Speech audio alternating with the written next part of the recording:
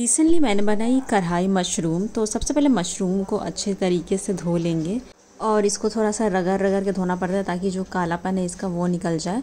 और थोड़ा सा कभी कभी ऊपर वाला पार्ट मैं छील देती हूँ। कभी कभी कुछ कुछ मशरूम बहुत थोड़े से काले टाइप के हो जाते हैं तो इसीलिए मैं ऊपर का जो लेयर होता है उसको हटा देती हूँ। फिर उसके बाद लिया पैन उसमें डालेंगे तेज पत्ता, थोड़ा सा क्लोव इलायची और हल्का सा दालचीनी, फिर उसमें डाल दिया थोड़ा सा ब्लैक पेपर और उसमें डाला प्याज, हरी मिर्च और थोड़ा सा मैंने बादाम भिगोया था, उसको भी डाल दिया। आप चाहे तो काजू भी ऐड कर सकते हैं और टमाटर एक कट करके डाल दिया। अच्छी तरीके से इनको पका लेना है और जब टमाटर और प्याज थोड़े से गल जाए तो ये जब इस तरीके से हो जाएगा तो ये ऑलमोस्ट हो चुका है। तो इसको क्या करेंगे, थोड़ा सा ठंडा कर लेंगे और उसके बाद उसमें हल्का सा पानी डालकर इसका अच्छा सा स्मूथ सा पेस्ट बना लेंगे। तो इस तरीके से ये रेडी था। उसके बाद हम सेम पैन में लेंगे थोड़ा सा ऑयल थोड़ा सा मैंने डाला इसमें जीरा और उसके बाद वो मसाला डाल दिया जो हमने अभी पेस्ट बनाया था।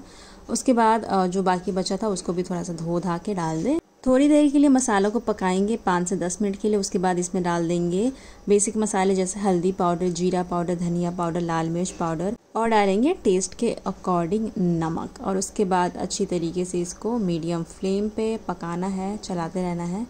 और अच्छी तरीके से ये पक जाना चाहिए मसाला। मसाले से अच्छे से जब बॉयल निकल जाए, तब तक इसको पकाना है। तो मैंने इसको ढक कर रखा था और बीच बीच में इसको चलाते रहेंगे। तो धीरे धीरे मसालों से तेल निकल रहा था तो ये ऑलमोस्ट हो ही चुका है। अब हम इसमें मशरूम डाल देंगे। इसको सबसे पहले अच्छे से मिक्स कर लेंगे, चला लेंगे और फिर उसके बाद हमने मशरूम कट करके रखा था, उसको अब इसमें डाल देंगे। और मशरूम खुद पे खुद अपना ही पानी छोड़ता है तो उसमें भी वो अच्छे से पानी छोड़ेगा और अच्छे से पकेगा। तो इसमें और कोई पानी ऊपर से अभी ऐड नहीं करना है। इसको अच्छी तरीके से मिला देंगे मशरूम और मसाले को और उसके बाद इसको ढक देंगे। थोड़ी देर ढकने के बाद ही इसमें से पानी छोड़ने लगेगा मशरूम अपना और उसके बाद इसको तब तक पकाना है जब तक इसका जो पानी है वो अच्छी तरीके से सूख ना जाए। तो ये इसमें मैंने कोई पानी ऐड नहीं किया है। तो ये मशरूम ने खुद का अपना पानी छोड़ा है तो उसी को अच्छे से सुखा लेंगे। तो यहाँ पे ये ऑलमोस्ट सूख चुका है।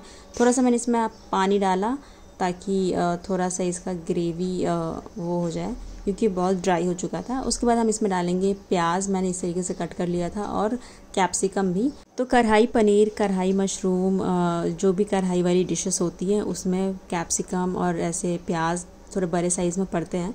तो इसमें डाल दिया और उसके बाद इसको पका लेंगे। थोड़ा आधे से ज़्यादा जब पक जाएगा, तब तक इसको पकाना है।